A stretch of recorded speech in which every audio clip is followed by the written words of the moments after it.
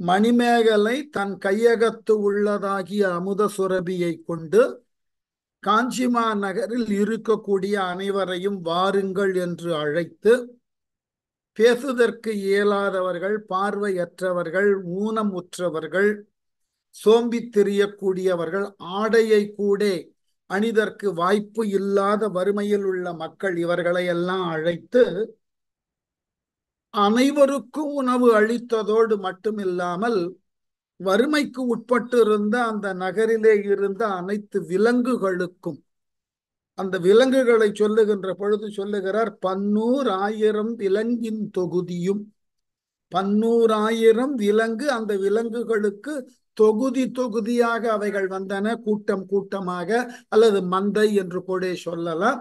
அவ்வாறு வரக்கூடிய அந்த நாட்டகத்து உள்ள அனைத்து கால்நடைகளுக்கும் உணவளித்து மண்ணுயிர் அடங்கலும் வந்து ஒருங்கு ஈண்டி. மண்ணுயிர் அடங்கல் என்றால் அந்த நாட்டகத்து வாழ்ந்த அனைத்து உயிரினங்களும் தங்களுக்கு உரியதாகிய உணவினை பெற்று அமைதியாயின. எல்லா நாடுகளிலும் அடிப்படை பிரச்சனை எது என்றால் உணவுதான். எங்கு உணவு இன்மை அல்லது உணவு உணவினுக்கு ஒரு தட்டுப்பாடு ஏற்படுகிறதோ அந்த பகுதியில மிக எளிதாக புரட்சியானது வெடிக்கும். நம்ம உலக வரலாறு எடுத்து பார்த்தீர்கள் என்றால் இந்த உண்மை புரியும். அதனால இந்த மண்ணுயிர் அடங்கல் தன்னால் கொடுக்கப்பட்ட உணவினை உண்டு அந்த காஞ்சிமா நகரில் பல்லவ நாட்டுல எல்லா உயிர்களும் அமைதியாயின. மண்ணுயிர் அடங்கலும் வந்து ஒருங்கு இண்டி அருந்தியோர்க்கு எல்லாம் ஆறுயிர் மருந்தாய். மணிமேகலை அழைத்ததற்கு இணங்க அந்த மணிமேகலையிடம் வந்து அவள் கையகத்ததாகிய அமுத சுரபியிலிருந்து உணவினை பெற்று வந்து ஒருங்கு ஈண்டி அருந்தியோர். அந்த அனைத்து மக்களும் அமைதியாக வந்து அவளால் கொடுக்கப்பட்ட உணவினை உண்டு. எப்படி இருந்ததா? எல்லாம் ஆறுயிர் மருந்தாய். எல்லா உயிர்களும் அருமையான உயிர். உலகுல தோன்றின எந்த உயிர்களும் போலியானவைகள் அல்ல. அந்தந்த உயிரினங்களுக்கு அவைகள் கொண்டிருக்கக்கூடிய உயிரானது மேன்மையானது உயர்ந்தது. அந்த உயிர்களை புறக்கக்கூடிய அடிப்படை மருந்தாக விளங்குவது எது என்றால் உணவு. அந்த உணவினை அவள் கொடுக்க ஆறுயிர் மருந்தாய் பெருந்தவர் கைப்பை பிச்சையின் பயனும். பெரியதர் பெரியதாகிய தவத்தை மேற்கொள்ளுபவர்கள் பிச்சை இடுவதினாலும் பிச்சை பெறுவதினாலும் உரியதாகிய பயனை அறிந்திருந்தார்கள். வேடிக்கையாக சொல்லுவது உண்டு. தருவது இன்பமா பெறுவது இன்பமானாக்க தமிழ் மரபுல மூன்று சொற்களை வைத்திருக்கிறோம். ஈ தா கொடு என்று. அதுல பெருன்ற சொல்லு இல்லை. கவனித்து பாருங்க ஈ என்பது உயர்ந்தவன் தன்னை காட்டிலும் தாழ்ந்தவனுக்கு கொடுப்பது. ஆகவே உயர்ந்தவன் மாட்டு தாழ்ந்தவன் எனக்கு ஒன்றை ஈ என்று கொடுப்பான் தாய் என்பது கொடுப்பவனும் பெறுபவனும் சமமாக இருப்பவர்கள். அது ஒப்போர் கூற்று. கொடு என்பது தாழ்ந்தவன் உயர்ந்தவனுக்கு கொடுப்பது. இப்போ உதாரணம் என்ன செய்கிறோம்? மன்னனுக்கு நாம் வரி கொடுக்கிறோம். அது கொடு. ஆனால் இந்த பெரு என்ற சொல் ஒன்றுதான். பெறுதல் இன்பமானா சில இடங்களில் பெறுதல் இன்பம். ஞாபகம் வச்சுக்கணும். ஞானம் பெறுகிறோம்னு தான் சொல்றோம். இறையருளை பெறுகிறோம் என்று சொல்லுகிறோம். பெறுவதுதான் சில நேரங்களில் பெரியதோர் இன்பத்தை நமக்கு கொடுக்கிறது. ஞானத்தை பிறர் கொடுக்கிறார்கள். கொடுப்பவர்களுக்கு இன்பம் இருக்கின்றதோ இல்லையோ அந்த உரிய ஞானத்தை பெறுபவர்கள் இன்பம் அடைகிறார்கள்.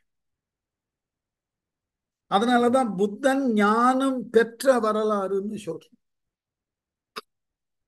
விஸ்வாமித்திரர் ஞானம் பெற்றார்னு சொல்றோம் ஆகவே பெறுதல் என்பது மேலானது எப்பொழுது என்றால் பெறுதற்கு உண்டான பொருளை நோக்கியது. இப்போ மிக பெரிய அளவிலே துன்பச் சூழலிலே சிக்கி தவிக்கக்கூடிய மாந்தர்கள் அவர்களுக்கு உரியதாகிய உணவு ஒரு நாளைக்கு ஒரு பொழுது கூட கிடைக்காத காலத்து அவர்களுக்கு உரிய உணவை மணிமேகலை தருகிறாள் என்றால் அந்த உணவை தருவது என்பதோடு அந்த உணவை பெற்று தங்கள் அரிய உயிரை காப்பாற்றிக் கொண்டார்கள் அல்லவா? அதனால் அவர்கள் பெற்றது உயர். அவர்களது அருமையான உயிரானது மணிமேகலையினால் கொடுக்கப்பட்ட உணவினால் காப்பாற்றப்பட்டது. ஆகவே பெருந்தவர் கைப்பை பிச்சையின் பயனும் நீரும் நிலமும் காலமும் கருவியும் சீர்பெற வித்திய வித்தின் விளைவும். அழகு. உங்களால் விளைவிக்கப்படக்கூடிய எந்த ஒரு பொருளும் ஒரு விதையை இடுகிறீர்கள்னா அந்த விதையை உண்டான நீர்வளம் உள்ள இடத்திலும் நீர்வளத்தோடு நிலவளம் உண்டான இடத்திலும் உரிய காலத்திலும் அதற்கு தேவையான முறையான கருவி கொண்டும் விதைக்கின்ற பொழுதுதான் உங்களால் விதைக்கப்பட்டது நல்ல விளைவினை தரும். நல்ல தா தேர்ந்த விதைகள் இருக்கின்றன என்பதற்காக பாறையில போட முடியாது. தவறான காலங்கள்ல கொண்டு போய் விதைக்க முடியாது. நாம் எத்தகைய பொருளை விதைக்கிறோமோ அது எவ்வாறு வளருகிறதோ அதற்கு உரியதாகிய கருவியை நாம் கொண்டிருக்கணும். அந்த கருவி என்பது இன்றைக்கு ஆங்கிலத்துல சொல்லுவது போல மேன் பவரா கூட இருக்கு அல்லது நவீன தொழில்நுட்பத்திற்கு உண்டான கருவி அந்தந்த காலத்திற்கு ஏற்ற கருவிகள் இருந்தன. அடிப்படையில மனித ஆற்றல் கருவின்றது அங்க. இந்த நான்கும் இருந்தால்தான் உங்களால் விதைக்கப்பட்ட எந்த ஒரு பொருளும் விளைந்து செழிக்கும். அதுபோல் உங்களால் தரப்படுவதற்கு உண்டான ஒன்று யார் மாட்டு தருகிறீர்களோ தருதற்கு உண்டான தகுதி உங்களிடம் இருந்தாலும் அதை பெறுபவர்கள் அதற்கு உண்டான தகுதியினை கொண்டு பெற்றால்தான் தந்தவனுக்கும் பெருமை பெற்றவனுக்கும் சிறப்பு. தகுதி இல்லாதவன் கொடுக்கக்கூடிய பொருளும் தகுதி இல்லாதவன் வாங்கக்கூடிய பொருளும் பயனில்லாமல் போகும். அதனாலதான் வள்ளுவர் சொன்னார் இது பெருவான் தவம்னு. அதாவது ஒரு வறியவன் இருக்கிறான் அவன் யார் ஒருவனுக்கு எந்த ஒரு பொருளையும் கொடுத்ததே இல்லை.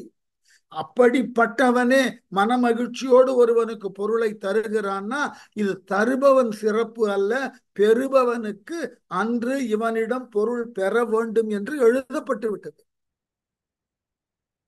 அதனால் வள்ளுவர் சொன்னார் தருவது என்பது அவரவர் மன வேட்கைக்கு உட்பட்டு நிகழக்கூடிய ஒன்று. ஆகவே தருதற்கு உண்டான எண்ணம் இல்லாதவன் கூட என்றாகிலும் ஒரு நாள் தருதற்கு உரிய எண்ணத்தினுக்கு உட்பட்டு தருகிறான்னு சொன்னா அது தந்தவன் பெருமை அல்ல. அவனிடம் பொருள் பெற்றவனது சிறப்பினால் இவன் தந்தான். பெருவான் தவம்னு எழுதி. அதுபோல இங்க மணிமேகலை தன் கையில இருக்கக்கூடிய அமுத சுரபி எடுக்க எடுக்க குறையாது. யாருக்கு வேண்டுமானாலும் உணவு கொடுக்கலாம். கொடுத்தாலும் அவளால் கொடுக்கப்பட்ட உணவு உயிரை காப்பாற்றியது அதோடு அவரவருக்கு உரியதாகிய மேன்மையை தந்தது. அதனாலதான் இன்றும் பல நாடுகள்ல மக்களுக்கு ஏதாகிலும் ஒன்றை கொண்டு சேர்க்க வேண்டும்னா இன்றைக்கு ஒரு காலத்துல இலவசம்னு சொன்னோம் இன்றைய தமிழ்நாடு அரசு அதற்கு விலையில்லா பொருள்னு சொல்லுகிறது. இவ்வாறு கொடுக்கின்றோமே இந்த பொருள்கள் எல்லாம் உரிய மக்களுக்கு உரிய பயனை தரக்கூடிய அளவிலே இருக்கின்றதான்னு யோசிக்கிறதே கிடையாது மணிமேகலையா தான் சொல்லுகிறது கொடுப்பது சரிதான் யார் மாட்டு கொடுக்க வேண்டும்? கொடுப்பதினால் உண்டான விளைவு அந்த கொடுக்கக்கூடிய பொருள் இந்த நான்கினை கொண்டு சிறப்பிக்க வேண்டும். இது நீர் நிலம் கருவி அதோட மட்டும் இல்லாமல் காலம். இந்த நான்கும் கொடுக்கப்படக்கூடியவனுக்கும் தெரிந்திருக்கக்கூடும் பெறக்கூடியவனுக்கும் தெரிந்திருக்க வேண்டும். அதனால சீர்பெற வித்திய வித்தின் விளைவு. இந்த நான்கினை உணர்ந்து எவன் ஒருவன் விதையை விதைக்கிறானோ அதற்கு உரியதாகிய பலனை தருவது போல பெருகியது என்ன? பெருவளம் சுரப்ப. மேலே சொல்லப்பட்ட நான்கின் அடிப்படையிலே எவன் ஒருவன் விதையை விதைத்தாலும் அதனால் விளைவு பெருகியது போல. அந்த அந்த வித்தானது செழித்து வளர்ந்து நல்ல பலனை தருவது போல மணிமேகலையினால் காஞ்சிமா நகரிலே கொடுக்கப்பட்ட உணவு உரிய காலத்தில் நல்ல முறையில் விதைக்கப்பட்ட விதை போல் அந்த மக்களுக்கு இருந்ததினால் அந்த நாடு செழிக்க தலைப்பட்டது. இது அடிப்படை.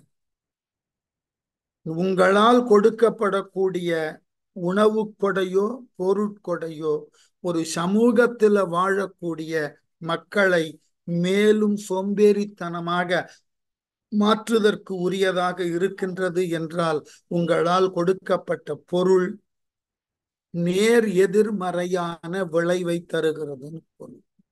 யார் அதை யோசிக்கிறதே கிடையாது. மணிமேகலை அந்த காஞ்சிமா நகரில் கொடுத்தது வசித்தொழில் உதவி வளர்ந்தது என மிக பெரிய அளவில் அந்த நாடானது அந்த வறுமையில் இருந்து தன்னை காத்து கொண்டு மக்கள் உற்சாகமாக நாட்டினது மேம்பாட்டினுக்காக உழைப்பதற்கு. மேலும் இது போன்றதாகிய வறுமை இனி வருங்காலங்களில் வந்துவிடக் கூடாது என்று பாடுபடுவதற்கு முன் வந்தார்கள். செய்யக்கூடிய உதவி அந்த நோக்கத்தை நிறைவு செய்வதாகும் ஆகவே வசித்தொழில் உதவி வளர்ந்தது என பசிப்பிணி தீர்த்த பாவையை ஏத்த நாட்டு மக்களினுடைய பசியை உரிய நேரத்துல தீர்த்து மக்களை மேம்பாடு அடைதற்கு உண்டான வழியினை காட்டிய மணிமேகலையை அந்த நாடு பாராட்டியது என்றால் நாட்டின் கண் வாழக்கூடிய மக்களும் மன்னனும் பாராட்டினார்கள். ஆகவே பசிப்பிணி தீர்த்த பாவையை ஏத்தி ஏத்தினா புகழ்ந்து. செல்லும் காலை அப்படி இருக்கக்கூடிய சூழ்நிலையில மணிமேகலையை காணுதற்கு அவளது தாயாராகிய மாதவியும் தோழியாகிய சுதமதியும் அங்கு வருகிறார்கள். அவர்கள் ஏற்கனவே காஞ்சிக்கு வந்த செய்தியை முன்னாடி பார்த்துப்போம். இப்ப சந்தித்துக் கொள்ளுகிறார்கள். தாயர் தம்முடன் அல்லவை கடிந்த அரவண அடிகளும். அல்லவை என்றால் தருமம் அல்லாத அரண் அல்லாத தவறான செயல்களை கடிந்தவர் என்றால் நீக்கி துறவு நெறியிலே புத்தனால் சொல்லப்பட்ட மேலான கோட்பாடுகளை கொண்டு வாழுதற்கு உரியவராகிய அரவண அடிகளும் மல்லல் மூதுர் மல்லல்னா ஆரவாரம்னு அர்த்தம். செழிப்புன்னு அர்த்தம். விளைவு மிக்கு இருக்கக்கூடிய ஊர் மல்லல்னு பேர். அதான் மல்லல் என்பது மல்குதல். அந்த மல்லல் மூதூர் காஞ்சி என்கின்ற செழிப்பு மிக்க அந்த ஊரினுக்கு மல்லல் மூதூர் மண்ணுயிர் முதல்வி நல்லறச்சாலை அப்படிப்பட்ட ஆரவாரமான செழிப்பினை கொண்டு விளங்குதற்கு தயாரான அந்த காஞ்சிமா நகரில் உள்ள அறச்சாலைக்கு முதல்வியாக திகழ்ந்த மணிமேகலையை காணுதற்கு இந்த மூவரும் நன்னினர்.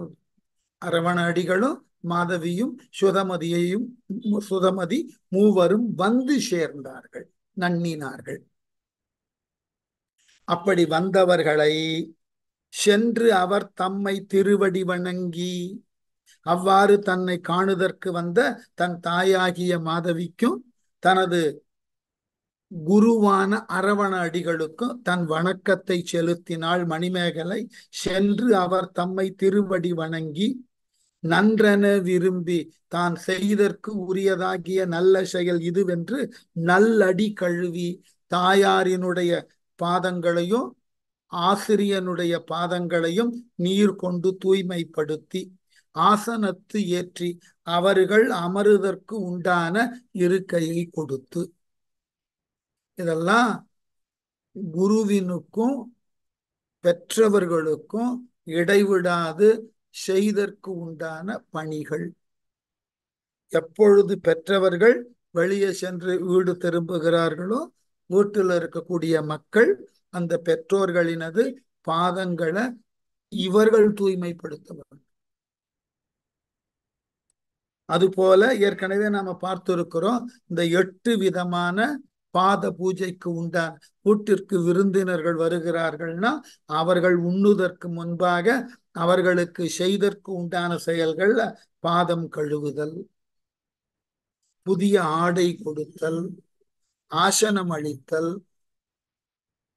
அதற்கப்புறம் அவர்கள் இழைப்பார அருகு நின்று விசிறுதல் அதற்கப்புறம் உணவு அருந்த வருகின்ற பொழுது கலம் தருதல் உரிய உணவை முறையாக பரிமாறல் அவர்கள் சுவையறிந்து உணவினை தருதல் உண்டதன் பின் அவர்களுக்கு உண்டான வாய் சுத்தம் கை சுத்தம் செய்து கொள்ள உதவுதல் தாம்பூலம் தருதல் இதெல்லாம் முறையா செய்யணும்.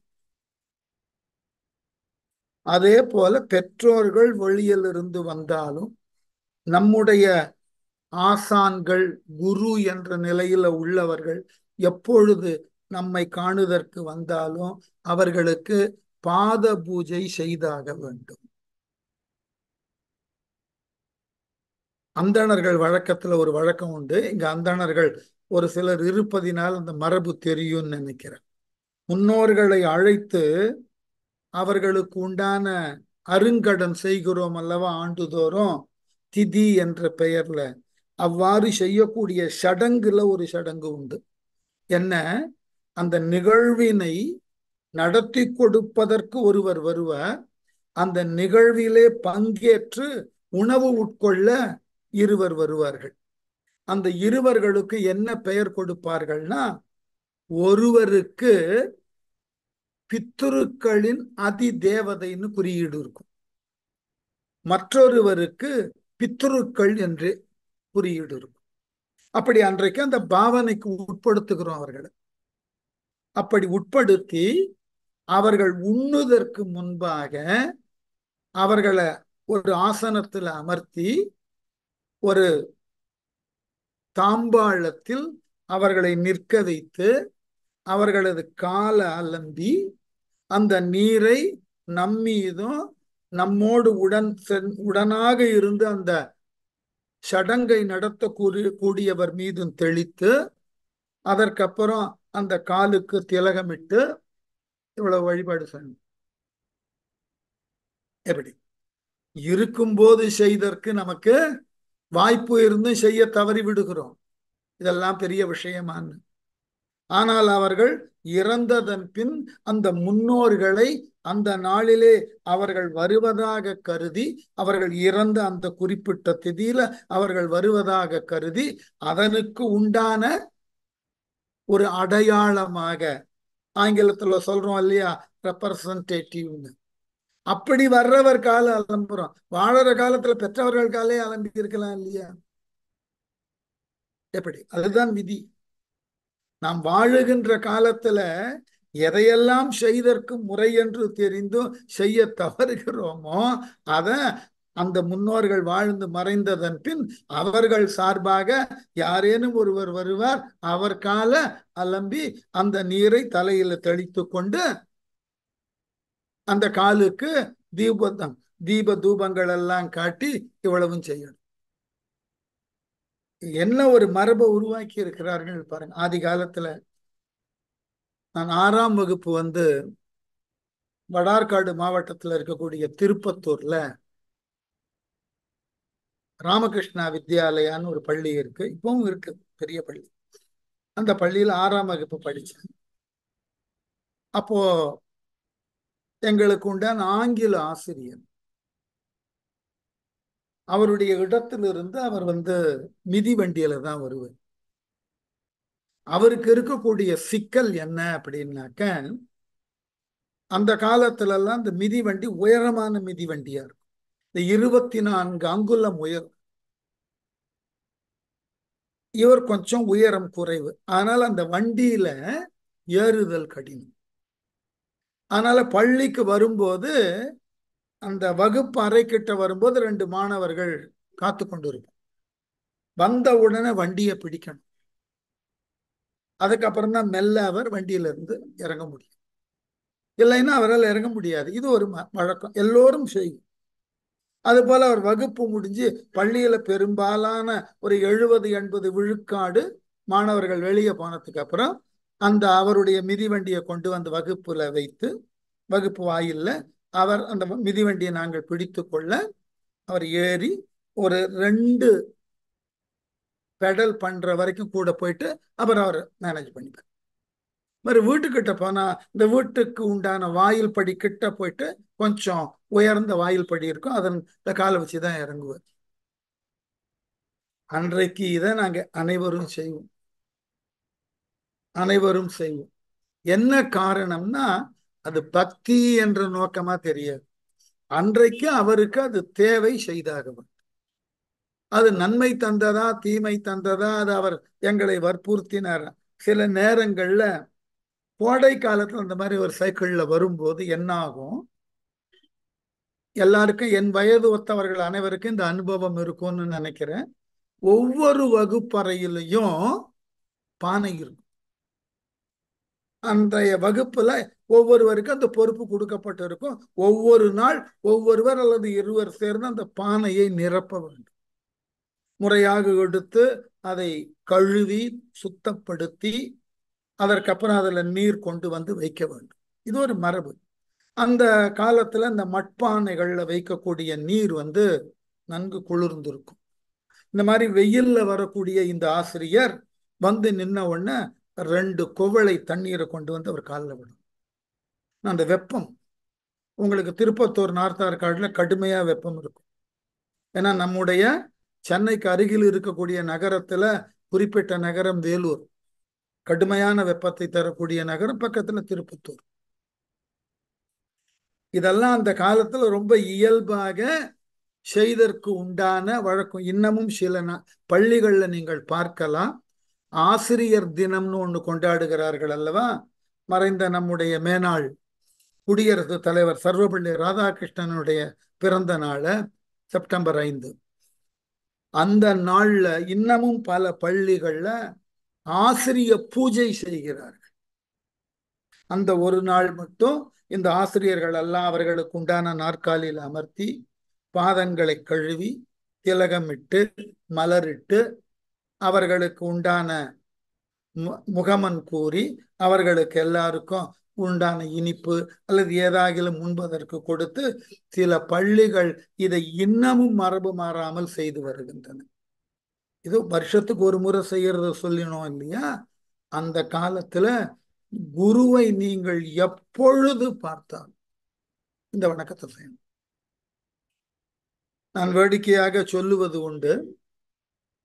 நான் அண்மை காலம் வரைக்கும் பணியாற்றின கலாக்ஷேத்திரால போய் பார்த்தீர்கள் என்றால் அங்கு பயிலக்கூடிய மாணவர்கள் மாணாக்கியர்கள் அனைவருமே அன்றைய நாள் பொழுதுல தங்கள் ஆசிரியர்களை எத்தனை முறை பார்த்தாலும் அத்தனை முறையும் வணக்கம் அது அவர்கள் அறியாமல் அனிச்சை செயலாக வரும் இது ஒரு மரபு. இந்த மரபை ரொம்ப அதிகமாக பின்பற்றக்கூடிய மற்றொரு நாடு எதுனாக்க ஜப்பான் நாட்டில் இருக்கக்கூடிய நடன கலைஞர்கள் சிலர் இங்கு கற்க வருவார்கள். அவர்களுக்கு நீங்கள் ஆசிரியராக இருந்து விட்டீர்கள் என்றால் போதும். நீங்கள் எப்பொழுது எல்லாம் அவர்கள் பெயரை சொல்லி அழைக்கிறீர்களோ நேராக உங்களிடம் வந்து உங்களுக்கு உங்கள் காலில் விழுந்து வணங்கினதற்கு பிறகுதான் எழுந்து நின்று நீங்கள் சொல்லுவதையே கேட்பார்கள். ஒரு நாளைக்கு நீங்கள் நூறு முறை அழையுங்கள் நூறு முறை இந்த வேலையை செய்வார்கள். ஏனென்றால் அவர்களினது நோக்கத்துல ஆசிரியர் என்பது மிக பெரியதாகியதோர் தகுதி. இன்றைக்கு அந்த மரபு இருக்கு பல நாடுகள்ல. இந்த ஆசை அந்த காலத்துலன்னு இல்லை இந்த காலத்திலையும் ஆசிரியர்கள் ஆசிரியர்களாக இருக்கிற வரைக்கும் எல்லா தகுதியும் கிடைக்கும். அந்த ஆசிரியர் தகுதியிலிருந்து நீங்கள் விலக தயாரானால் விலகுதற்குண்டான சூழல் ஏற்பட்டால் உங்களிடம் கற்கக்கூடியவர்களும் உங்களை இனி வருங்காலத்துல மதிக்கணுமா வேண்டாமான்ற முடிவை அவர்கள் எடுக்கிறார் இதுதான். இந்த தொழில் அவ்வளவு மேன்மையானதுன்றதுக்கு இந்த ஆசிரியர். ஆகவே நல்லடி கழுவி ஆசனத்து ஏற்றி அறுசுவை நால்வகை போனகம் ஏந்தி.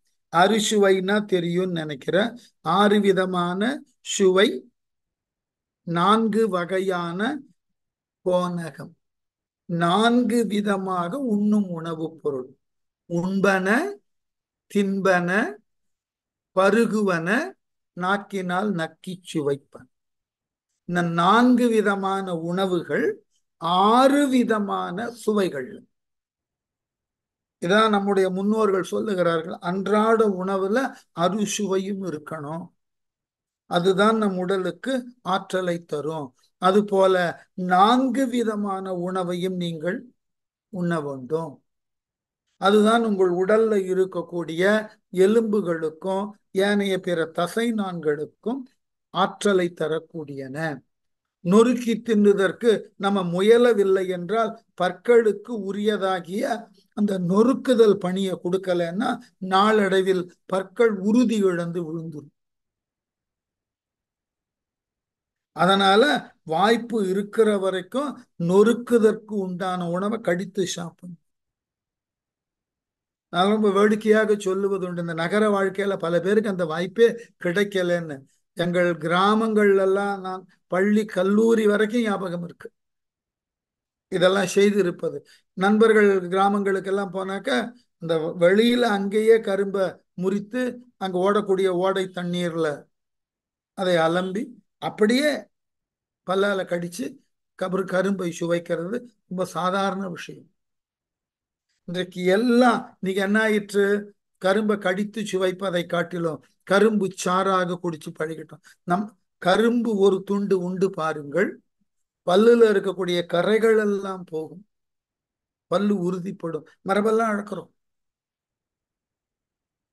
அதனால்தான் இப்ப ரொம்ப இளமை பிராயத்திலேயே எல்லா விதமான நோய்களுக்கும் ஆட்படுகிறது.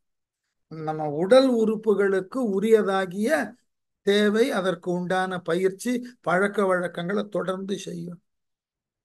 அதனாலதான் போனகமேந்தி பொழுதினிற் கொண்ட பின் இதெல்லாம் உரிய நேரத்தில் இவைகளை எல்லாம் கொடுத்து அவர்கள் உண்டதற்கு பின்பு அடுத்த ஒரு குறிப்பு. பாசிலை திரையலும் திரையல்னாக்க வெற்றிலைன்னு அர்த்தம். பச்சை பசேல்னு இருக்கக்கூடிய வெற்றிலை. ஒரு கேள்வி. துறவியர்கள் வெற்றிலை போடலாம்? பௌத்தம் ஏற்றுக்கொள்ளுகிறது. அதுதான் முக்கியம். பிற்காலத்துல வள்ளலார் இதை பேசுகிறார். மாதிரி காலையில எழுந்து நீங்கள் பாக்கு உண்ண வேண்டும்னு வள்ளலார் வாழ்வியல் முறையில விளக்குறார். உணவு உண்ட பின் வெற்றிலை இட்டுக்கொள்ள வேண்டும்னு எழுதுறார். தொல் தமிழ் இலக்கியங்கள்ல பார்த்தீர்கள் என்றால் நன்று நன்கு விருந்து உண்டதன் பின் வெற்றிலை உண்ணுதல். கண்ணகி கோவலனுக்கு வெற்றிலை மடித்து கொடுத்தத சிலப்பதிகாரம் பேசுகிறது. அம்மென் திரையலோடு அடகு மெல்லருந்தி. கண்ணகி கோவலனுக்கு மதுரையில உணவளித்த புறஞ்சேரியில உணவளித்து பாக்கு வைத்து வெற்றிலையில பொருத்தி கொடுத்தாள். துறவியர்களும் உண்டிருக்கிறார்கள். அன்றைக்கு உணவு முறையில இந்த வெற்றிலை என்பது உணவினை முறையாக செரிப்பதற்கு உறுதுணையாக இருக்கக்கூடிய ஒன்று. மற்றொரு குறிப்பு யாரேனும் சித்த மருத்துவத்தை சென்று பார்த்தீர்கள் என்றால் தெரியும் வெற்றிலையில் வாழை இலையில் தங்கம் இருப்பதற்கு உண்டான குறிப்புகள் இருக்கு. ஆகவே வெற்றிலை உண்ணுதல் என்பது உடலின் நலத்திற்கு நன்மை தரக்கூடியதாக அன்று கருதப்பட்டது. இன்றைக்கும் நன்கு கபமெல்லாம் இருந்தா வெற்றிலை சாறு தான் நல்ல மருந்து. சில வீடுகள்ல வெற்றிலை பத்து போடுவார்கள் தலையில. அதனால அன்றைக்கு துறவியர்களும் உண்டு இருக்கிறார்கள் அவ்வளவுதான் நமக்கு அடிப்படை. பாசிலை திரையலும் பலிதமும் படைத்து பலிதம்னு சொன்னா வாய் மணப்பதற்கு உண்டான பச்சை கற்பூரம். இந்த ஒரு விஷயத்த சொல்லணும்ன்றது ரொம்ப ஆசைப்படுவேன். நான் ஒரு காலத்துல என்னோடு பல காலம் இருந்தவர்களுக்கு தெரியும். நாம் என்னுடைய காலத்துல ரொம்ப கட்ட கடந்த பத்து ஆண்டு பன்னிரெண்டு ஆண்டுகளுக்கு முன்பு வரைக்கும் நான் வெற்றிலை சீவல் நான்காவதாக இருந்த புகையிலையையும் போட்டுக்கொண்ட வாழ்க்கை தான் எனக்கு. எங்க புலவர் கல்லூரியிலிருந்து தொடங்கின பழக்கம். வாயே முழுவதுமாக ஒரு பல்லு கூட வெண்மையா தெரியாது. அந்த அளவினுக்கு என்னுடைய தோல்ல மாட்டிக்கக்கூடிய பையில முழுமையுமாக அதுதான் இருக்கும். அதே மாதிரி என்னுடைய ஜெயின் கல்லூரியில நான் பணியாற்றின காலத்துல பெரும்பாலானோர் இந்த பழக்கங்களுக்கு உட்பட்டு இருந்ததுனால எனக்கு அங்கேயும் குழப்பம் இல்லை. ரொம்ப எளிமையா அந்த பழக்கம் தொடர்ந்தது. இந்நாளில் வேண்டாம்னு தான் விட்டுட்டோம். இதை ஏன் சொல்றேன்னா எங்கள் மாவட்டத்திற்கு குருஜி நிச்சயமா சொல்லுவார். ஏன்னா என்னை தெரிந்தவர்கள் எல்லாம் அது ஒண்ணு என்னுடைய பேச்சு அதோட அதனோடு சேர்ந்து இருக்கக்கூடிய என்னுடைய பழக்கம் தெரியாமல் இருக்காது. இல்ல நண்பர் ராஜாராமன் சொன்னார் அவருடைய நண்பரும் என்னோடு பணியாற்றின ஒரு பேராசிரியர் என்னை பார்க்கும் போதெல்லாம் அதை சொல்லுவார்னு குறிப்பெழுதி இருந்தார் அதனால தஞ்சை மாவட்டத்தில் இருக்கக்கூடிய அந்த பெரியவர்கள்லாம் கையில வெத் வெற்றிலைக்குன்னு பெட்டி வைத்திருப்பார்கள். பெட்டின்னே சொல்ல தெரியாது எங்க அழகான ஒரு வார்த்தையை சொல்லுவார்கள். வெத்தலை செல்லம்னு பேர். வெத்தலை பெட்டி இல்லை வெத்தலை செல்லம். அத அவ்வளவு நேர்த்தியாக துடைத்து இன்னும் சொல்ல போனா அது பொன்னால் செய்தது போல மின்னக்கூடிய அளவினுக்கு அவ்வளவு அழகாக அது பராமரிக்கப்படும். உள்ள திறந்து பார்த்தீர்கள்னா அந்தந்த தகுதிக்கு நான்கு அறை கொண்ட பெட்டி எட்டு அறை கொண்ட பெட்டி இருக்கு. அதெல்லாம் மிகப்பெரிய செல்வந்தர்கள் வைக்கக்கூடிய பெட்டி. இந்த எட்டு அறை கொண்ட பெட்டிய இவர் செல்வந்தர் எடுத்துட்டு வர மாட்டார் அதை எடுத்து கொண்டு வருவதற்குன்னு ஒருத்தன் இருப்பான். அவனுக்கு பேர் அடப்பக்காரன்னு பேர். இதுக்குன்னு ஒரு ஆளையே வைத்திருப்பார்கள்.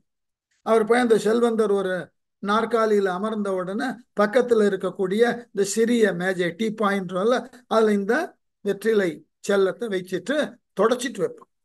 கையில் எடுத்துட்டு வந்திருக்கான் இல்லையா? இவனுடைய வேர்வையெல்லாம் அதில் பட்டிருக்கிறதுனால அழகாக தொடச்சிட்டு வைப்பான். அந்த வெற்றிலை வைப்பதற்கு ஒரு அகலமான ஒரு கம்பார்ட்மெண்ட் இருக்கும். மீதி ஏழு கம்பார்ட்மெண்ட்ல சுண்ணாம்பு அதுக்குள்ள தனியாக அந்த கம்பார்ட்மெண்ட்ல வைக்க மாட்டார்கள். அதற்கு என்று சுண்ணாம்பு டப்பி ஒன்று சிறு டப்பி அது நேர்த்தியா இருக்கும் இந்த சுண்ணாம்பு டப்பியில ரெண்டா பகுத்து இருப்பார்கள். ஒரு பக்கம் சுண்ணாம்பும் மற்றொரு பக்கம் அவர்கள் விரும்பக்கூடிய பன்னீர் புகையில இருக்கும் அது எல்லோரும் போட்டுக்கொள்ள முடியாது இல்லையா? அதனால் அதை தனியா வைத்திருப்பார்கள். நீங்கள்லாம் அந்த காலத்துல இந்த சுண்ணாம்பை அவர்கள் கூட்டுவதற்கு உண்டான முயற்சியை போய் பார்க்கணும். இது ஒரு பெரிய அரிய தவம். பக்கத்துல இருந்து அதெல்லாம் பார்த்துருக்கேன். கிழிஞ்சல் சுண்ணாம்பை பயன்படுத்த மாட்டார்கள். கற்சுண்ணாம்பை நீர்ல இட்டு சுட்டு அது வஸ்திர காயம்னு சொல்லி அழகாக வடிகட்டி அதன் பிறகு அதுல இளநீர் சேர்ப்பார்கள். அதனுடைய காரம் நாக்க புண்ணாக்கிடக்கூடாது. இளநீர் சேர்த்து அந்த இளநீரோடு அது ஊறி அந்த சுண்ணாம்பானது வெண்ணெய் பதத்தில் இருக்கும். ஆனா அந்த டப்பால ஒரு பகுதியில போட்டு மூடியிருப்பார்கள் மறுபகுதியில் புகையில அது தனியா இருக்கும். உள்ள இருக்கக்கூடிய வெற்றிலை நீங்களாக மீதி இருக்கக்கூடிய ஏழு அறைகள் கம்பார்ட்மெண்ட்ல சீவல் இருக்கும். பாக்கு இருக்கும். அதனோடு வெற்றிலையோடு சேர்த்து வைக்கக்கூடிய பாக்கு வெட்டி இருக்கும். அது ஒரு நேர்த்தியான தொழில்நுட்பத்தோடு செய்யப்பட்ட பாக்கு வெட்டி. அப்புறம் ஏலக்காய் இருக்கும். கிராம்பு இருக்கும். ஜாதி பத்திரி இருக்கும். ஜாதி பத்திரி சில பேருக்கு பார்த்திருக்கலாம் பயன்படுத்தியும் இருக்கலாம். ஜாதி காய் என்பது ஆங்கிலத்தில் நட்மெக்குன்னு பேரு. அந்த ஜாதி பழமானது பழுத்ததற்கு பிறகு உள்ள இருக்கிற கொட்டை தான் ஜாதிக்காய். அது நல்ல மயக்கத்தை கொடுக்கும் செரிமானத்தை கொடுக்கும். அந்த பழத்துக்கும் கொட்டைக்கும் நடுவில் நார் போல ஒரு பகுதி இருக்கும். அதுக்கு பேரு ஜாதி பத்ரின்னு பேரு. அதுவும் மனமுள்ளதா இருக்கும். எப்படி பலாச்சுளையை ஒட்டி கோது இருப்பது போல இந்த ஜாதி பழத்தை அந்த கொட்டைக்கும் பழத்திற்கும் நடுவுல இந்த ஆரஞ்சு பழ சுளைகளுக்கு நடுவுல நார் இருக்கு இல்லையா? அது போல இந்த ஜாதி பத்திரி அது இருக்கும். பச்சை கற்பூரம் இருக்கும். இதெல்லாம் தனித்தனியா இருக்கும். இந்த புகையிலை போடக்கூடியவர்கள் இதுக்கெல்லாம் வரமாட்டார்கள்.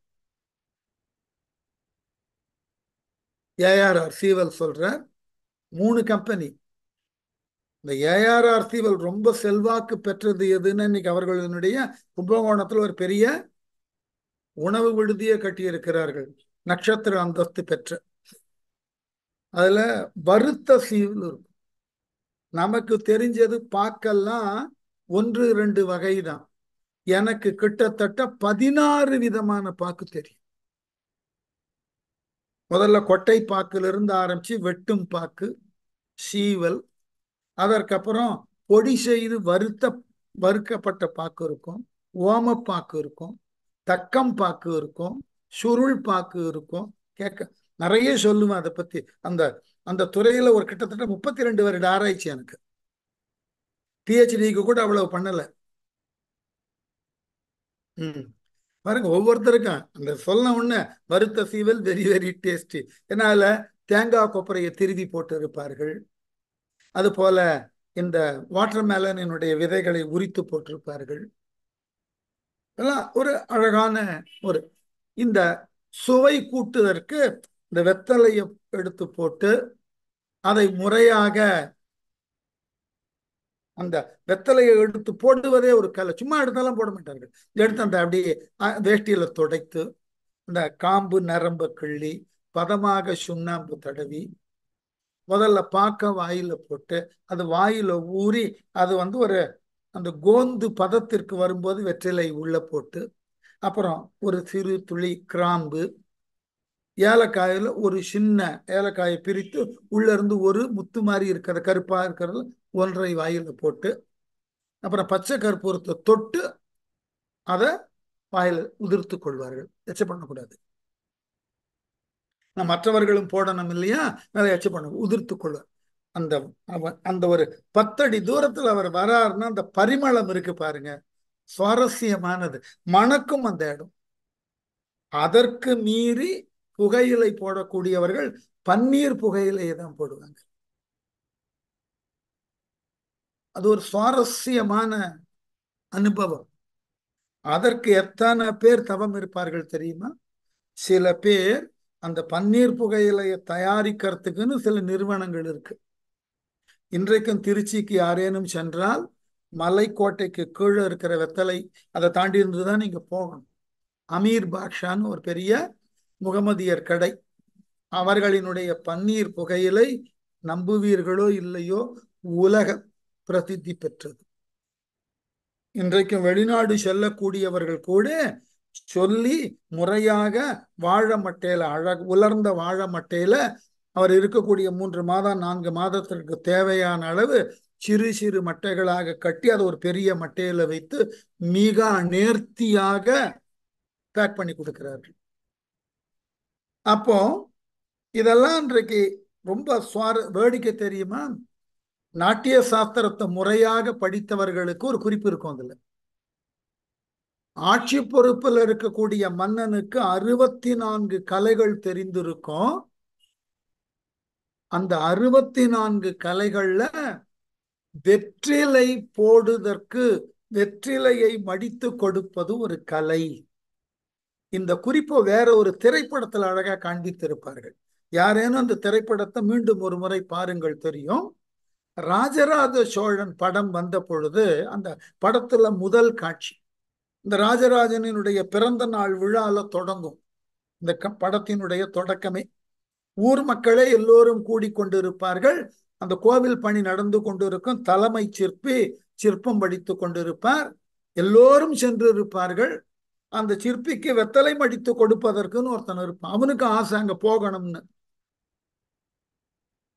அந்த சிற்பி அவனிடம் சொல்லுவார் மகராஜர் எனக்கு இந்த சிற்ப வேலையை கொடுத்ததோடு நான் அடிக்கடி வெற்றிலை போடுவேன் என்பதையும் தெரிந்து கொண்டு எனக்கு வெற்றிலை மடித்து கொடுப்பதற்கு என்று உன்னையும் பணியில் அமர்த்தியிருக்கிறாரு இதுதான் நம் மன்னனினுடைய மகத்துவம்னு சொல்லி கொண்டிருக்கும் போது மெல்ல அந்த சிறுவன் அந்த இடத்தை விட்டு நழுவிடும் இவர் சிற்ப வேலையை செய்து கொண்டு இருக்கக்கூடிய கவனத்துல அப்படி செதுக்கி கொண்டே வெற்றிலைன்னு கேட்பார். கை அப்படி நீட்டுவார்.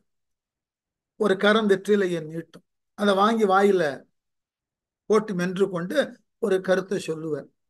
அந்த வெற்றிலை பையனாக அங்க இருக்கக்கூடியவன் இருக்கிறான்னு நினைத்து கொண்டு நான் சிற்பத்தில் எப்படி கைவண்ணத்தை காட்டுகிறோனோ தெரியாது. எனக்கு வெற்றிலை மடித்து கொடுத்து கொடுத்து நீ அந்த வெற்றிலையை பக்குவமாக கொடுப்பதில் தேர்ந்து விட்டு இருக்கிறாய் என்று சொல்லி வாயில இருந்த உமிழ்நீரை உமிழுதற்கு திரும்புவார். ஒரு கரம் அந்த உமிழ்நீரை பெறுதற்கு நீட்டும். அந்த சிற்பி அப்பொழுதுதான் திரும்பி பார்ப்பார் அது மன்னன் அப்ப மன்னன் சுவைப்பட வெற்றிலையை மடித்து கொடுக்கக்கூடிய கலையை கற்றிருக்கிறான். இந்த படத்தினுடைய இயக்குனரை பாராட்டணும். ஒரு மன்னனுக்கு உண்டான கலைகள் பல அறுபத்தி நான்குல இந்த வெற்றிலை மடித்து கொடுத்தலும் ஒரு கலை உண்மை. அதனாலதான் இன்றைக்கும் நம்ம வீடுகளில் உண்டான விழாக்கள் எல்லாம் பார்த்தீர்கள் என்றால் இந்த வடக்கத்திக்காரர்களை அழைத்து அவர்களை கொண்டு வெற்றிலை மடித்து தர சொல்லுகிறோம். அன்றைக்கு இது ஒரு சுவாரஸ்யமான ஒரு கலையாக எல்லார் வீடுகள்லையும் ரொம்ப வெற்றிலை போடுதல். இன்றைக்கும் தஞ்சை கோவை திருச்சி மாவட்டங்களுக்கெல்லாம் வீட்டுக்குள்ள போனீங்கன்னா முதல்ல தாம்பூல தட்டை கொண்டாந்து வச்சிருவாங்க. வெத்தலை பார்க்க இருக்கிற தட்டை. அது ஒரு மங்களம் உங்களை நாங்கள் மங்களமாக வரவேற்கிறோம். திண்ணையில உட்கார்ந்து கொண்டு முதல்ல வெற்றிலையெல்லாம் போட்டுக்கொண்டு முதல்ல ஒரு சொம்புல தண்ணி இருக்கும் வாயை கொப்பளித்து விட்டு அப்புறம் வெற்றிலையை போட்டுட்டு தான் பேசவே ஆரம்பிப்பார். அது ஒரு அழகான வரவேற்பு முறை. இது ஒரு சுவாரஸ்யமான வழக்கம். நிறைய சொல்லலாம். இந்த என்றைக்குன்னு ஆரம்பிக்கிறோம். சங்க காலத்துல இருந்து இந்த மரபு இருக்குன்றது தான். மணிமேகலைக்கு முன்னாடி சிலம்பு பேசி இருக்கு. சிலம்புக்கு முன்னாடி சங்க இலக்கியம் பேசுகிறது.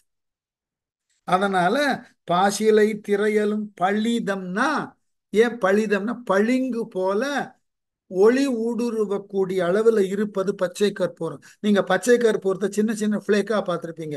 பெருசா பார்த்தீங்கன்னா நல்ல ஸ்லாபா கிடைக்கும். ஒரு ரெண்டு எம்எம் திக்னஸ்ல தான் கிடைக்கும். டிரான்ஸ்பரண்டா இருக்கும். ஒளி ஊடுரு. அதனால அதுக்கு பேர் பழிதம்னு பேர். பளிங்கு போலே ஒளி ஊடுருவக்கூடிய ஒன்று பளிதம் பச்சை கற்பூரம் அதையும் கலந்து கொடுக்க பளிதமும் படைத்து வாய்வதாக வெண் மனப்பாட்டு அறம் என. வாய்வதாக எல்லா அறங்களும் தப்பாது பலித்திடுது வாய்வது ஆக. இப்படி கொடுத்தவன்னா அருள் சொல்லக்கூடியவர்கள் எல்லா நல்லதும் நடக்கட்டும்னு சொல்லுவார்கள். தாயாகிய மாதவியும் குருவாகி அரவான அடிகளும் மணிமேகலையை வாழ்த்தினார்களா?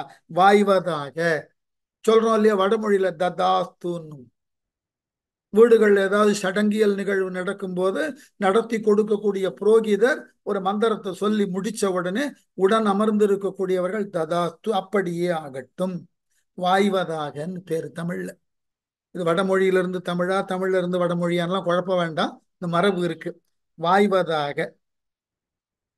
என் மனப்பாட்டு அறம் என இப்படிப்பட்ட நான் கொண்டுள்ள அறமானது என்றும் நிலைக்கட்டும் என்று மாயை விட்டு இறைஞ்சினள் மாயை என்கின்ற அவள் கொண்டிருந்த இதுகாரும் அவள் கொண்டிருந்த மாயா உருவமான ஆடவர் உருவத்தை விலக்கி மாயை விட்டு இறைஞ்சினள். தன் உருவத்தை தன் பழைய உருவமாகிய பெண் வடிவை எடுத்து மணிமேகலை அவர்கள் இருவரையும் வணங்கினாள். முடிஞ்சதா அடுத்த காதைக்கு போறதுக்கு முன்னாடி சில விரிவான முன்னுரை தர வேண்டும்னு நினைச்சேன். அடுத்த காதை தவத்திரம் பூண்டு தர்மம் கேட்ட காதை. இந்த காதை இருது வரைக்கும் நாம படிச்ச காதையிலெல்லாம் பெரிய காதை இதுதான். கிட்டத்தட்ட நானூற்றி எழுபத்தி இரண்டு அடிகளை கொண்டுள்ள காதை இறுதி காதைக்கு முதல் காதை இருபத்தி ஒன்பதாவது காதை. இந்த காதையினுடைய சிறப்பு என்ன அப்படின்னு கேட்டா மணிமேகலை இப்பொழுதுதான் முறையாக பௌத்த மதத்தின் கருத்துக்களையெல்லாம் ஒன்றன் பின் ஒன்றாக கேட்டுக்கொள்ள போகிறது. இதுகாரும் கேட்கவில்லையான இல்லை. ஏனென்றால் பிற மதங்களில் அல்லது பிற சமய கோட்பாடுகளை முழுமையுமாக தெரிந்து கொண்டு அதுதான் அந்த காதையில பார்த்தோம் பல் சமய கணக்காயர் திறம் கேட்ட காதை. பல சமயங்கள் இருந்தன அந்த சமயங்களில் இருக்கக்கூடிய தத்துவார்த்தங்களை எல்லாம் இவள் முறையாக கேட்டு தெளிகிறாள். தெளிந்ததன் பின் தான் பின்பற்றுவதற்கு உரியதாகிய புத்த மதத்தின் மேலானதோர் கொள்கையை முறையாக கேட்க தொடங்குகிறாள். ஞாபகம் வச்சுக்கணும். இது எல்லா மதத்தினுக்கும் உண்டான அடிப்படை செயல். நம்ம பிறந்ததிலிருந்து இறைவனை வழிபடுவோம். அது நம் முன்னோர்கள் நமக்கு கற்று தந்திருக்கக்கூடிய வழி வழியாக வருதற்குண்டான செயல். ஏன் வணங்குகிறோம்? அந்த வணக்கத்தை எப்படி செலுத்த வேண்டும்? அந்த வணக்கத்தின் தாற்பயம் என்ன? ஒன்றுமே நமக்கு தெரியாது. இப்ப நம்ம வீடுகள்ல இப்பவும் நாமெல்லாம் வளர்ந்து இருக்கிறோம் அல்லவா? எல்லாரும் ஓரளவினுக்கு வளர்ந்து உலகியல் அனுபவம் வாழ்வியல் அனுபவம் எல்லாம் பெற்றிருக்கிறோம். வெளிப்படையாக சொல்லுங்கள். உங்கள் இல்லங்களில் நீங்கள் பின்பற்றுவதற்கு உண்டான சமயம் அந்த சமயம் சார்ந்த ஒரு ஆண்டினுக்கு உண்டான அத்துணை விதமான வழிபாட்டினுடைய அடிப்படையான தத்துவங்கள் தெரியுமா? தெரியாது. இதுல மாற்று சிந்தனையே வேண்டாம். யாரேனும் ஒரு சிலருக்கு தெரிந்திருக்கலாம். இன்னமும் சொல்ல போனால் சில வீடுகள்ல அவர்கள் குடும்பத்தோடு தொடர்புடைய சடங்கியல்களே செய்ய தெரியாது. அதனால என்ன ஆகும் அந்த குடும்பத்துல அவர்கள் வாழும் காலத்துல முதியவர்களாக யார் இருக்கிறார்களோ அவர்களை அழைத்து அடுத்தடுத்து என்ன செய்யணும்னு படிப்படியாக கேட்பார் அவர் ஒரு இடத்துல உட்கார்ந்து கொண்டு இதற்கப்புறம் இதை செய் இதை இப்படி செய் இதனை இவ்வாறு வகைப்படுத்து படிப்படியா விளக்கி கொண்டு இருப்பார் ப்ரொசீஜரலா ஃபாலோ பண்ணிட்டு வருவார். அப்புறம் அந்த பெரியவரே சொல்லுவார் அது பெண்ணோ ஆணோ சரி எத்தனை முறை நானே சொல்லுவது என்னென்ன செய்யணும் என்பதை சொல்றேன் குறித்து கொள்ளுங்க இவ்வாறு குறித்து கொண்டு பல விஷயங்களை டாக்குமெண்ட் பண்ணி வைத்திருக்கிறார்கள். நான் எங்கள் குடும்பங்கள் எல்லாம் இந்த திருமணத்திற்கு முன்பு எங்கள் குடும்பத்துல வாழ்ந்து மறைந்த சுமங்கலியர்களுக்குன்னு ஒரு சடங்கியல் நிகழ்வு நிகழ் நிகழ்த்துவோம். சுமங்கலி பிரார்த்தனை என்ற பேர் ஒவ்வொரு குடும்பத்தினுக்கும் ஒரு மரபு உண்டு. ஒன்று போல் எல்லா குடும்பமும் அதை செய்ய முடியாது. ஆகவே இப்ப எங்கள் குடும்பத்துல எங்கள் வீட்டுல ஒரு திருமணம் நடக்கிறது எங்கள் சகோதரர்கள் இல்லங்கள்ல அப்படின்னா அந்த சகோதரர் இல்லங்கள்ல அந்த திருமணம் நடக்கிறதுக்கு முன்னாடி ரெண்டு நிகழ்வு செய்வோம். ஒன்று சுமங்கலி பிரார்த்தனைன்னு வாழ்ந்து மறைந்த சுமங்கலிகளை நினைவு கூர்ந்து அவர்களைப் போல் இந்த திருமணத்துல ஈடுபடக்கூடியவர்களும் நெடிது சுமங்கலியாய் வாழ வேண்டும்.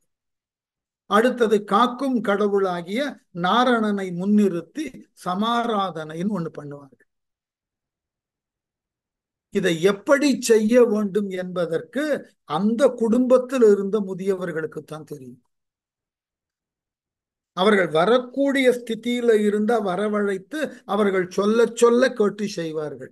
இல்லை என்றால் அவர் இருக்கக்கூடிய இடத்துக்கு போயிட்டு முறையாக அவர்கள் சொல்லுவதை இப்பெல்லாம் நவீன தொழில்நுட்பம் உங்களுடைய கைபேசியிலேயே கூட பதிவு பண்ணிக்கலாம். அந்த காலத்துல குறிப்பெடுப்பார்கள் stage by stage step by step அப்படி செய்தால்தான் உங்களுக்கு அது முழு பலனை தரும். மாறி செய்து விட்டீர்கள் என்றால் உங்களுக்கு அது பலனை தாராது. அப்படின்னு ஒரு அச்சுறுத்தலும் இருக்கும். ஆகவே நல்லது நடக்கிறதோ இல்லையோ குறைந்தபட்சம் தீய நடந்து விடக்கூடாதுன்ற பயம் எல்லாருக்கும் உண்டு. ஆனால் அப்படியே ரொம்ப சிஸ்டமேட்டிக்கா அதை செய்யும். இது ஒரு இன்னைக்கு எல்லாவற்றினுக்கும் நீங்க ஒரு உரி குறிப்பிட்ட இடத்துக்கு போனீங்கன்னா தெளிவா உங்களுக்கு அது பதிவு செய்து நூலாகவும் ஒலிப்பேழையாகவுமே கிடைச்சிடுறது தர்ப்பண மந்திரங்கள் ஸ்ரார்த்த மந்திரங்கள் நீங்கள் என்ன பிரிவை சேர்ந்தவர்கள் எந்த சூத்திரத்தை சேர்ந்தவர்கள் அதற்கு ஏற்றாற்போல் மந்திரங்களும் பிரயோகங்களும் வித் டீடைல்டு ஸ்டேஜ் டிரெக்ஷன்ஸ் இதெல்லாம் அவைலபிள் ஏன்னா மக்கள் எல்லாரும் இடம் விட்டு இடம் நாடு விட்டு நாடு குடியேறி ஒவ்வொரு இடத்துல அவர்களினுடைய குடி இருப்பை வளர்த்து கொண்டு விட்டார்கள். அப்போ நம்முடைய தொன்மையையும் விட முடியல. விட்டு விட்டால் ஏதாகிலும் தவறு நடந்துடுமோன்ற பயம் இருக்கு. தாங்கள் இருக்கக்கூடிய இடத்துல அதை செய்ய வேண்டிய தேவையும் ஏற்படுகிறது. அடுத்த கவலை என்னன்னா நாம் இதை செய்ய தவறினால் நமக்கு அடுத்து இங்கேயே பிறந்து வளர்ந்து இருக்கக்கூடிய நம்முடைய சிப்ளிங்ஸ்ன்னு சொல்லக்கூடிய அடுத்த தலைமுறையினர் அதை முழுமையுமாக புரிந்து கொள்வார்களான்ற பயமும் இருக்கு. எவ்வளவு வேலையும். இது சடங்கியல் சார்ந்தவைகளுக்கே இவ்வளவு தெளிவு வேண்டி இருக்கு சடங்கியலை தாண்டி ஒவ்வொரு மதத்தின் கண் சொல்லப்பட்ட தத்துவார்த்தங்களை புரிந்து கொள்வதற்கு நீங்கள் முறையாக சென்று பாடம் கேட்டாக வேண்டும். வெறும் நூல்களை படிச்சு வராது. திருமந்திரம் நடத்தும் போது ஒரு இடத்துல ஒரு பாட்டுல விளக்கம் சொல்றார். உன்னை சுற்றி சூரிய ஒளி போல் ஞானம் இருக்கலாம். அந்த சூரிய ஒளி உன்னை குறிப்பாக வந்து அணுக வேண்டும் ஒரு பொருளின் மீது பட்டு எரிக்க வேண்டும் என்றால் அந்த ஒளிக்கும் பொருளுக்கும் நடுவுல ஒரு ஊடகம் தேவை. மேக்னிஃபையிங் கிளாஸ் தேவை. தமிழ்ல பூத கண்ணாடின்றோம் இல்லை சின்ன வயசுல விளையாடி இருப்போம். சூரிய வெளிச்சத்துல இந்த பூத கண்ணாடியை கரெக்டா பிடிச்சி ஒரு பேப்பர் துண்டுல ஃபோக்கஸ்டா அந்த ஒளியை குவிய வைத்தோம்னா பத்திக்கும். அது மாதிரி ஞானத்தை உனக்கு போக்கஸ்டா தரணும்னா நடுவுல ஒரு ஆசான் வேணும். ஆச்சாரியன் வேணும். அதனால்தான் ஆச்சாரியனை தேவனாக நாம கருதுகிறோம். பித்ரு தேவோபவ ஆச்சாரியன் தேவோபவ அவன் நமக்கு ஞானத்தை கொடுக்கிறான். உடலும் அந்த உடல் வளருவதற்கு உண்டான உணவையும் பித்ருக்கள் தருகிறார்கள். பெற்றவர்கள் ஆகவே அவர்கள் தேவர்கள். வளர்ந்ததற்கு பிறகு இந்த உலக வாழ்க்கைய நாம முறையாக வாழுதற்கு கல்வி கருத கல்வியை பெறுதற்கு நாம நம்முடைய அறிவினால் இந்த உலக வாழ்க்கையை எதிர்கொள்ளுதற்கு ஆச்சாரியன் நமக்கு வித்தியை கத்துக் கொடுக்கிறான். அவனும் தெய்வம். அப்போ இந்த அடிப்படையில மதம் சார்ந்த தத்துவங்களை தகுந்த ஆசிரியனிடம் போய் கற்கணும்.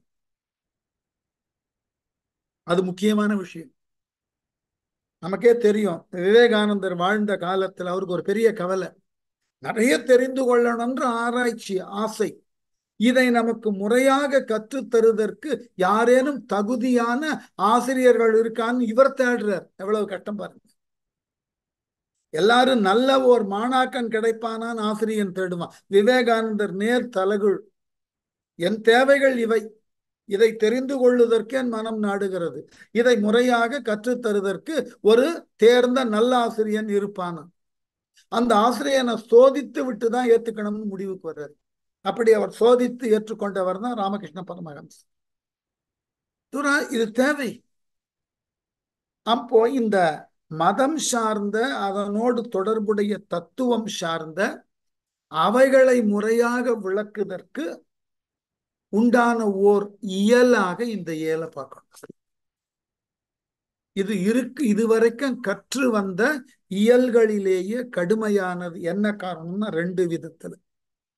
முதல் நாம் இதுகாரும் அறிந்திராத புத்த மதத்தின் கோட்பாடுகளை படிப்படியாக விளக்கக்கூடிய பகுதி. ஏன்னா நமக்கு நம்ம மதத்துல நாம இதுகாரும் பின்பற்றி கொண்டிருக்கக்கூடிய மதத்தினுக்கு உரியதாகிய கோட்பாடுகளையே கூட செய்ய தெரியுமே ஒழிய அதனது காரண காரியங்கள் தெரியாது. இப்படி செய் என்று கற்றுக் கொடுத்தார்கள் செய்து கொண்டிருக்கிறோம் அவ்வளவுதான். இதை செய்வதனால் என்ன விளைவு ஏற்படும் அதன் அதனுக்கு உண்டான காரண காரியங்கள் எதுவுமே நமக்கு தெரியாது முடியாது. இது நம்முடைய அடிப்படை. இதனால என்ன ஆயிற்று இந்த பகுதிக்கு மிக பெரியதோர் முக்கியத்துவத்தை கொடுக்க வேண்டிய தேவை. இதுக்கப்புறம் தான் பிரச்சனையே சொல்ல போறேன். இந்த பகுதிக்கு ஊவே சாமிநாத ஐயரினுடைய எந்த விளக்கமும் இல்லை. என்ன காரணம்னா ஊவே சாமிநாத ஐயர் இதை பதிப்பிக்க எடுத்துக்கொண்ட பொழுது தமிழகத்துல புத்த மதம் முற்றிலுமாக அருகிவிட்டது. ஆகவே புத்த மதத்தை பின்பற்றக்கூடிய இல்லறவாசிகள் இருந்தார்களே ஒழிய அதனது தத்துவார்த்தங்களை முற்றிலுமாக தெரிந்து கொண்டு துறவு நெறியில் இருக்கக்கூடிய மாந்தர்கள் இங்கு இல்லை. மற்றொன்று புத்த மதத்துல சொல்லப்பட்டு இருக்கக்கூடிய எல்லா கோட்பாடுகளும் தொடக்கத்துல பாலி மொழியில் தான் எழுதப்பட்டிருந்தன. புத்தர் பேசினது பாலி மொழி. சித்தார்த்தனாக பிறந்து கௌதம புத்தனாக மாறின அந்த லும்பினியை சார்ந்தவர் பேசினது பாலி மொழி. அவரால் சொல்லப்பட்டதும் பின்னர் அவருக்கு பின் வந்த துறவியர்கள் எல்லாம் சிந்தித்ததும் மூன்று பகுதியாக பிரிக்கப்பட்டு பிடகங்கள்னு சொல்லப்பட்டன. தர்ம பிடகம் அபிதர்ம பிடகம் வினய பிடகம் சுத்திர பிடகம் இதெல்லாம் பாலி வார்த்தை இந்த பாலி மொழியிலிருந்து இவை வடமொழிக்கு மொழிபெயர்க்கப்பட்டு பின் ஆங்கிலத்துல மொழிபெயர்க்கப்பட்டன. உவே சாமிநாதையருக்கு ஆங்கிலமும் தெரியாது. ஆகவே அவரோடு துணை நின்ற சில இந்த சென்னை பிரசிடென்சியில விளங்கின சில வடமொழி பேராசிரியர் சமஸ்கிருத பேராசிரியர்கள் அவர்களுக்கு தெரிந்த அளவுல விளக்கம் கொடுத்தார்கள். அது இவருக்கு போதலை. ஆகவே இதை முழுமையுமாக தெரிந்து கொள்ள வேண்டும்னு மிக பெரிய அளவில் புத்த மதம் செல்வாக்கோடு விளங்கின அந் அருகில் உள்ள நாடாகிய இலங்கையில இருக்கக்கூடிய புத்த மத பிக்ஷுக்களின் தலைவருக்கு கடிதம் எழுதி கேட்கிறது. அந்த கடிதத்தை நீங்கள் கேட்கக்கூடிய விளக்கங்கள் எல்லாம் இந்த நான்கு தலைப்பின் கீழதாக உள்ளதுன்னு இந்த தலைப்பை மாத்திரம் எழுதிட்டு பிக்ஷு வேற எதுவும் விளக்கம் கொடுக்கல.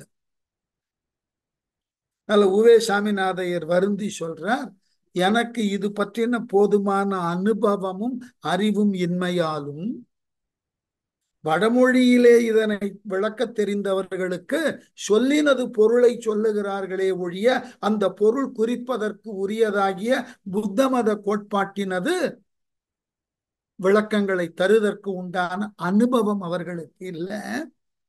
நான் புத்த மதத்தை சார்ந்த துறவிக்கு கடிதம் எழுதி கேட்ட பொழுது இவை இவைகளை காணுங்கள் என்று சொன்னாரே ஒழிய விளக்கம் தரல. ஆதலால் இந்த பகுதிக்கு நான் பாடு பொருள் என்பதற்கு இந்த கதை பகுதியில் வரக்கூடிய சொல்லுக்கு விளக்கம் கொடுத்திருக்கிறேனே ஒழிய அந்த சொல் உணர்த்தக்கூடிய பொருள் அதனால் பெறப்பட்ட புத்த தத்துவத்தினுக்கு உரிய விளக்கங்கள் ஏதொன்றும் எனக்கு தெரியவில்லை. வாக்கு மூலமே கொடுத்துட்ட பின்னாடி இந்த நூலை பதிப்பித்த சிலர்.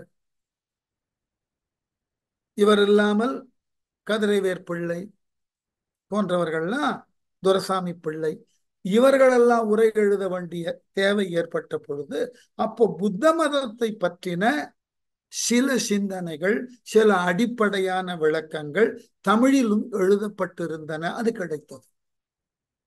ஆகவே உவே சாமிநாதையருக்கு கிடைக்காத ஒரு வாய்ப்பு அவருக்கு பின் வந்த உரையாசிரியர்கள் ஒரு சிலருக்கு கிடைத்தது. அவர்களும் என்ன செய்திருக்கிறார்கள்? இன்ன சொல் இன்ன பொருளை இன்ன தத்துவத்தை விளக்குதற்காக சொல்லப்பட்டதுன்னு சொன்னார்களே ஒழிய அதுல சொல்லப்பட்டு இருக்கக்கூடிய அந்த தத்துவார்த்தங்களை தத்துவ நோக்கிலே விளக்கினார்கள்னா விளக்கல். அதனால நாம படிக்கும் போது கூட எனக்கு தெரிந்த ஏன்னா பின்னாடி இந்த புத்த மத தத்துவங்களை பலர் லகுவான முறையில் எழுதி இருக்கிறார்கள் இப்போ எல்லா புத்தகமும் ஆங்கிலத்துல கிடைக்கிறது. புத்திஸ்ட் பிலாசபிய மூணு பிடக நூலும் இப்பொழுது நமக்கு ஆங்கிலத்துல கிடைக்கிறது. அபிதர்ம பிடகமோ சூத்திர பிடகமோ வினய பிடகமோ மூன்றும் இப்பொழுது ஆங்கிலத்துல பெரிய பெரிய நூல்களாக கிடைக்கின்றன. சென்னையில மோத்திலால் ஹோரான்னு ஒரு பதிப்பகம் இருக்கிறது. மயிலாப்பூர்ல லெஃப்ட் அந்த வித்யா மந்திர் பள்ளிக்கு போகக்கூடிய அந்த சாலையில திரும்பின உடனே இடது பக்கத்துல இருக்கக்கூடிய முதல் கட்டிடம். மோத்திலால் ஹோரான்னு போட்டிருக்கோம். பாத்தீங்கன்னா ஒரு புத்தக கடை மாதிரியே தெரியாது. மிக உயரிய நிலையில பதிப்பிக்கப்பட்ட மிகச்சிறந்த புத்தகங்கள் லெதர் பவுண்டிங்கோட கிடைக்கும். அதற்கேற்ற விலை நிச்சயமா. எல்லா புத்தகமும் கிடைக்கிறது. இது நமக்கு முன்னாடியே தெரிந்திருந்தா இப்ப இப்ப சொல்லிட்டோம். அடுத்த ஆண்டு புத்தக காட்சி நடக்கும் இல்லையா? நம்ம ஊர்ல ஒய்எம்சிஏ மைதானத்துல. அப்போ கொஞ்சம் யாருக்கும் ஆர்வம் இருந்தால் இந்த புத்த மத இலக்கியங்களையும் புத்த மத தத்துவங்களையும் லகுவாக அதாவது எளிதாக புரிந்து கொள்ளுதற்கு என்று மிக அழகான பழகு தமிழ்ல நூல்களாக சில பதிப்பகங்கள் வெளியிட்டிருக்கின்றன. இந்த புத்த மதங்களுக்கு உண்டான சில அமைப்புகள் கொடுக்கக்கூடிய நன்கொடை உதவியினால் அழகான முறையில பதிப்பித்து புத்தக கண்காட்சியில கொண்டு வந்து விற்பனை செய்கிறார்கள். யா நம்ம இத விளக்கத்தை சொல்லி முடித்து இந்த கதையை நடத்துறதுக்கு நகர்த்துறதுக்கு கொஞ்சம் நாள் எடுத்துக்கும் இதுல சொல்லப்பட்ட செய்திகளை ஓரளவு தான் என்னால விளக்க முடியும்.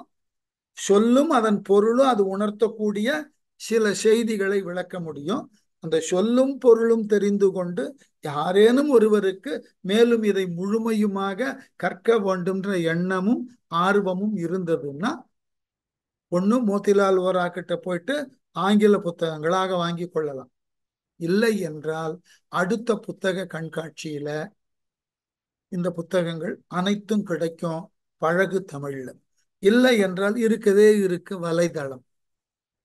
வலைதளத்துல போயிட்டு புத்த தத்துவங்கள் அடங்கிய பிடகங்கள் மூன்றையும் தமிழிலே தெரிந்து கொள்ள வேண்டும்னு வலைதளத்துல தேடினீர்கள் என்றால் சிக்கும்.